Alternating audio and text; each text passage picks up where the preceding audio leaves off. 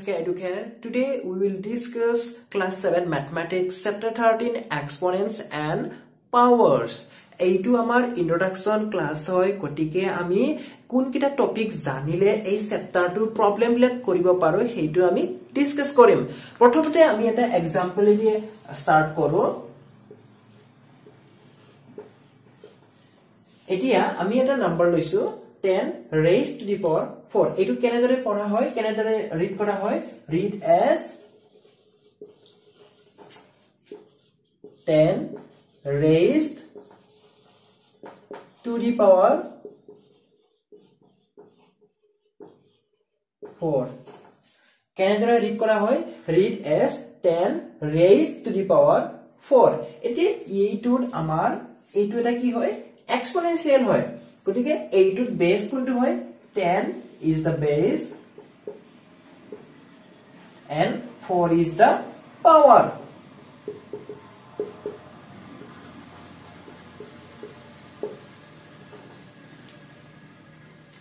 ten is base and 4 is the power and as a whole is the exponential form.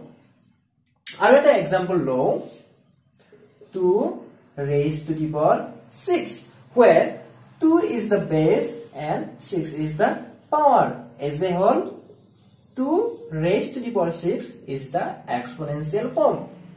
এতিয়া এইটো আমি যদি expand কৰো suppose কোনটো ten raise to the power ফ'ৰক আমি যদি এক্সপাণ্ড কৰো তেতিয়া আমি কি পাম ten multiplied by ten multiplied by ten multiplied by ten চাৰিটা টেন কি হৈ আছে আমাৰ চাৰিটা টেন মাল্টিপ্লাইড হৈ আছে গতিকে ten multiplied by ten multiplied by ten multiplied by ten can be written as ten raise to the power four suppose এইটো two to the power 6 or 2 raised to the power 6 can be written as 2 multiplied by 2 multiplied by 2 multiplied by 2 multiplied by 2 multiplied by 2 কেইটা 2 আছে আমাৰ 6 এতিয়া বুজি পালা? পাওয়ার কি হয়? Base কি হয়? আর এক্সপোনেনশিয়াল ফর্ম কি হয়? এক্সপোনেনশিয়াল ফর্ম কোনটো হয়? 10 raise to the power 4 10 raise to the power 6 or suppose a raise to the power m. This is the exponential form where a is the base and m is the power হাতত এটা number দিয়া আছে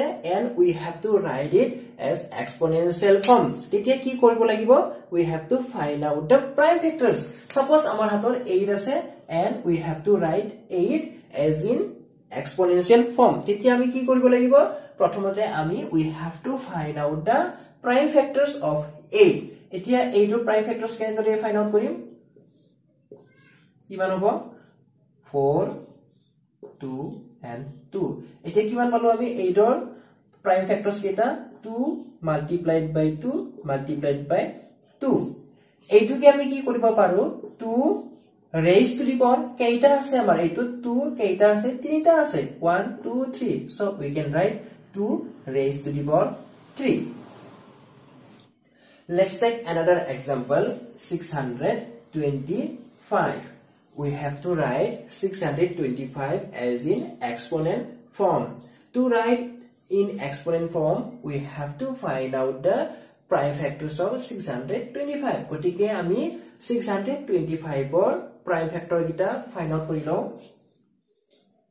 5 1 2 5 5 2 5 আমি six hundred twenty five prime factor কেটে কি কি পালো? These are the prime factor of six hundred twenty five five multiplied by five multiplied by five multiplied by five so you can write five কেইটা five আছে? Four so we will read five raise to the power four 625 or exponent form ki hol 5 raised to the power 4 এতিয়া আমি চাম laws of exponents চাওঁ for the same base প্ৰথমতে a raised to the power m multiplied by a raised to the power n will be a raised to the power m plus n. কি হয়? আমাৰ যদি same base হয় a and a same base different powers যদি multiplied হৈ থাকে তেতিয়াহলে পাওয়ার গিটা কি হয়? বেসটো একে থাকে গিটা প্লাস হৈ যায় এডিশন হৈ যায়। এক্সাম্পল এটা লও। Suppose 2 raised to the power 4 multiplied by 2 raised to the power 5 তেতিয়া আমি লজ মতে কি হ'ব আমাৰ? ল মতে কি হ'ব? 2 raised to the power 4 plus 5 and it will be 2 raised to the power 9 আৰু এটা লও example suppose 5 raised to the power 6 multiplied by 5 raised to the power 7 তেতিয়া হলে আমাৰ কিমান হ'ব বেস সেম হয় 5 5 raised to the power 6 plus 7 and it will be 5 raised to the power 13 এইটো হল আমাৰ মাল্টিপ্লিকেশন অফ এক্সপোনেন্টস এতিয়া আমি চাম division of exponents a raised to the power m divided by a raised to the power n. কি হ'ব a raised to the power m minus n. যদি আমাৰ multiplication থাকে কি হয় পাৱাৰ গিটা প্লাস হয় এডিশন হয় যদি ডিভাইড থাকে তেতিয়াহলে পাৱাৰ গিটা কি হ'ব আমাৰ সাবট্ৰেকশন মাইনাস হ'ব let's take an example suppose 2 raised to the power 6 divided by 2 raised to the power 4 then it will be 2 raised to the power 6 minus 4 2 squared আৰু এটা এক্সাম্পল লওঁ 5 raised to the power 7 divided by 5 raised to the power 3 then it will be 5 the power 7 minus 3 কিমান হ'ব? 5 7 ৰ পৰা minus three গলে five the power four এতিয়া গম পালা?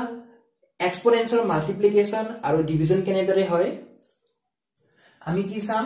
পাৱাৰ্স of power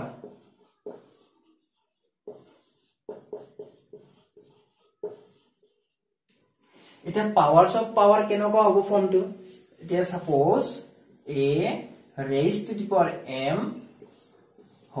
raise to power power n তাৰমানে আমাৰ পাৱাৰ দুটা থাকিব। এম ৱে পাৱাৰ তাৰে ওপৰত আৰু এটা পাৱাৰ থাকে। কি হয় তেতিয়া? পাৱাৰ ইয়াতে পাৱাৰ দুটা আছে। এম তাৰে ওপৰে পাৱাৰ আছে n so it will be a raise to the power m multiplied by n কি হব? পাৱাৰ্স অফ পাৱাৰ থাকিলে মাল্টিপ্লিকেশন হব। কোনকেইটা মাল্টিপ্লিকেশন হব? পাৱাৰ কেইটা মাল্টিপ্লিকেশন হব? এক্সাম্পল লও। Suppose two square whole to the power four কি হব? ইয়াতে আমাৰ টুৰ এটা পাৱাৰ আছে টু অলৰেডি তাৰে পৰা আৰু এটা কি আছে? পাৱাৰ আছে। Four so it will be two raise to the power two multiplied by four so it will be two raise to the power eight আৰু এটা এক্সাম্পল লওঁ five raise to the power three hall raise to the power four এইটো কেনেকুৱা হ'ব five raise to the power three multiplied by four and it will become five raise to the power twelve three multiplied by four is twelve এতিয়া আমি আহো different বেজ চেম powers থাকিলে কেনেকুৱা হ'ব? ডিফাৰেণ্ট বেজ বুলি কৈছে so' let's take base a and b কি হ'ব লাগে? ডিফাৰেণ্ট বেজ চেম পাৱাৰ্ছ গতিকে পাৱাৰটো এম ধৰো এম এম কি কৰিব লাগে? মাল্টিপ্লিকেশ্যন তেতিয়া আমাৰ কেনেদৰে হ'ব? চোৱা আমাৰ কি আছে? বেজ এ এণ্ড বি আছে গতিকে will take a multiplied by b যিহেতু আমাৰ মাল্টিপ্লিকেশ্যন হৈ আছে তাৰপিছত পাৱাৰটো কি হয়? Same power m so' a multiplied by b হ'ল m so' we can write simply a b হ'ল raised to the power m. এতিয়া example লও। 2 raised to the power 5 multiplied by 3 raised to the power 5 কি হল ইয়াতে আমাৰ base two and three different base হয় কিন্তু পাৱাৰ কি হয়? ফাইভ হয় চেম হয় পাৱাৰ গতিকে এনেকুৱা থাকিলে আমাৰ কেনেদৰে হব? Two multiplied by three hall raise to the power five two multiplied by three is six raise to the power five আৰু এটা এক্সাম্পল লওঁ।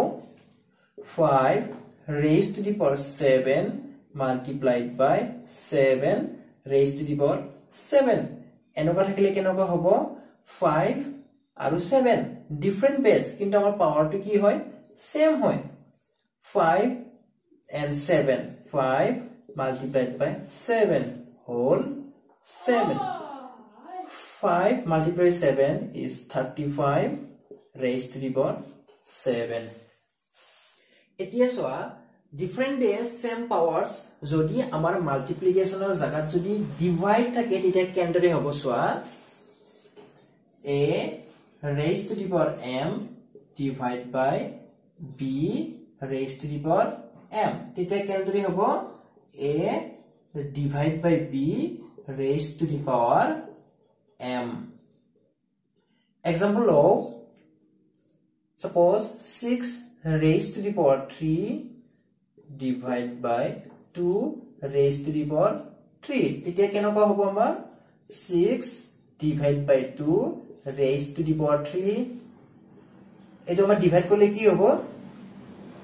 Three raise to the power three আৰু এটা এক্সাম্পল লওঁ। Five raise to the power three divide by two raise to the power three কেনেদৰে হ'ব এইটো আমাৰ? Five divide by two raise to the power 3 ইয়াতে এটা ইম্পৰ্টেণ্ট কথা কৈ দিওঁ মই কোনোবাই এটা নাম্বাৰৰ যদি পাৱাৰটো যদি জিৰ' হয় তেতিয়া কি হয়? এইটো সদায় অলৱেজ ওৱান হয়। কি ক'লো? কোনোবা এটা নাম্বাৰৰ কোনোবা এটা এক্সপানেঞ্চৰ যদি পাৱাৰটো যদি জিৰ' হয় তেতিয়া কি হয়? ভেলুটো ওৱান হয়। এইটো কিছুমানে কিন্তু কি লিখিব পাৰে? To the power 0 is equal to 0 লিখিব পাৰে which is wrong গতিকে মনত ৰাখিবা a to the power 0 is always 1 এতিয়া আমি আহো চেপ্টাৰটোৰ last topic which is standard form. এতিয়া standard form কি হয় বুজিবলৈ আমি এটা লাৰ্জ এটা নাম্বাৰ লওঁ suppose 2 crore.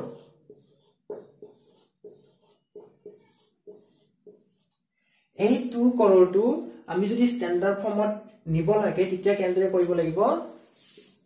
Two one two multiply by one কেইটা জিৰ' আছে three four five six seven zero' আছে।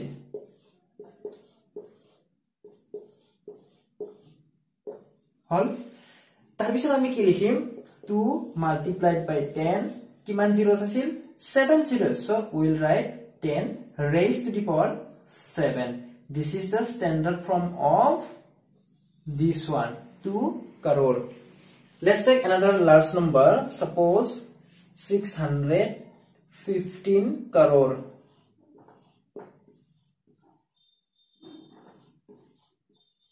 এতিয়া 615 crore আমি যদি স্ট্যান্ডার্ড ফর্মত নিব লাগে তেতিয়া কি কৰিব লাগিব 615 multiplied by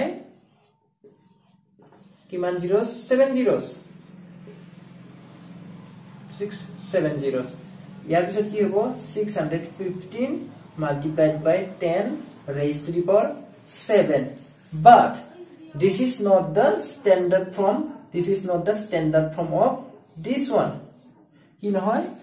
Six hundred fifteen multiplied by ten raise to the power seven is not the standard form of six hundred fifteen crore কিয় নহয়? কাৰণ this is also a large number কি কৰিব লাগে? ষ্টেণ্ডাৰ্ড ফৰ্ম হ'বৰ কাৰণে ফাৰ্ষ্টত আমি এটাই ডিজিট ৰাখিব লাগিব। চ' উই উইল কি কৰিম? আমি কি কৰিম? আমি ডেচিমেলত কনভাৰ্ট কৰি ল'ম। গতিকে ইয়াতে এটা ডেচিমেল থকা বুলি ভাবি লোৱা। ইয়াতে এই ডেচিমেলটো কি কৰিম আমি? এইটো পজিশ্যনত লৈ আহিম। So' if we bring the decimal over here we have to multiplied with another hundred which is ten square